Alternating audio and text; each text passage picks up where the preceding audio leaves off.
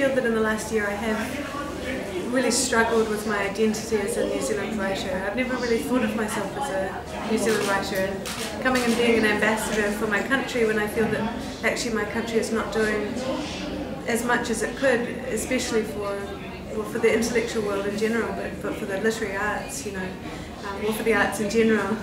Uh, I think it's, it's, just a kind of a slightly complicated um, position to be in. I, I, suppose from reading a lot of books from male points of view and from um, uh, having close relationships with men around me, I, I think that um, I don't I don't feel like I think like a man, but I think that I it's not it's not completely foreign to me. Um, you know, I think that I have masculine elements in, in, my personality. Again, it comes back to the Jungian idea that we all do have a kind of an equilibrium in, in ourselves.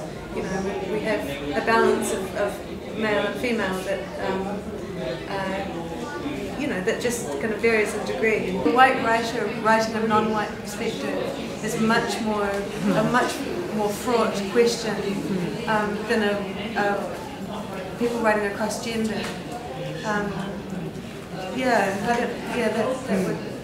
That, that, yes. that seems just to be much more tricky territory and um, much more to do with the intentions of the of, of the person doing it. Like I think that it's always to do with intentions. It's always to do with what why it is that you are going outside yourself.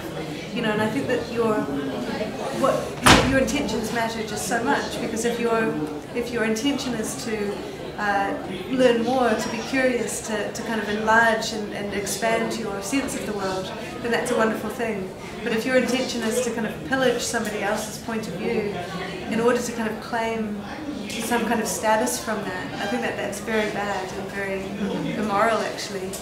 Um, so I don't think, I would never, uh, I would never write in a, for example, a, a, a first person narration from a point of, from the point of view of somebody who had been through an experience that I had not been through.